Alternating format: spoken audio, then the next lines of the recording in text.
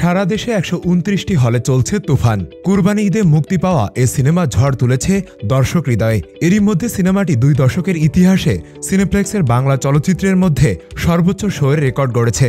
সিনেমাটি দেখার জন্য টিকিট না পেয়ে ভাঙচুরের ঘটনা ঘটেছে রাজধানীর মধুমিতা হলে। দর্শকের চাপ এখনও রয়েছে প্রেক্ষাগৃহগুলোতে। এমন সময় এসে গতকাল তুফান সিনেমার স্পেশাল স্ক্রিনিং চলে, যেখানে দর্শক সারিতে দুটি ছড়ায় এই সিনেমার অভিনয় শিল্পীরা।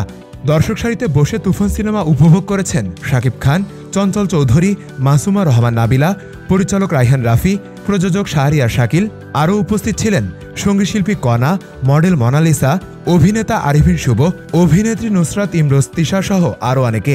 এ সময় তুফান সিনেমার সাফল্য নিয়ে নিজের আয় কত হবে সেটি জানান সাকিব একটু মুচকি হেসে বলেন, তুফান সিনেমার আয়ের পঁচিশ ভাগ আমার। সিনেমা একশো কোটি আয় করলে পঁচিশ কোটি আর দুশো কোটি আয় করলে পঞ্চাশ কোটি আমার।